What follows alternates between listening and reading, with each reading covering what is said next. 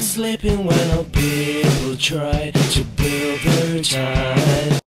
Il Sud-Festival è un'esperienza bellissima che io personalmente spero di rifare, rifare, rifare, rifare, fino a che non divento un Michele Riondino che anche lui viene da Taranto come me, che saluto.